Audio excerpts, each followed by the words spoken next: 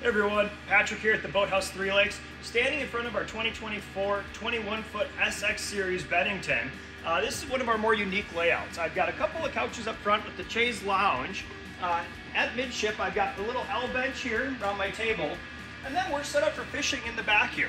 So a couple of fishing pedestals, live well right here in the center, along with a couple of rod holders there.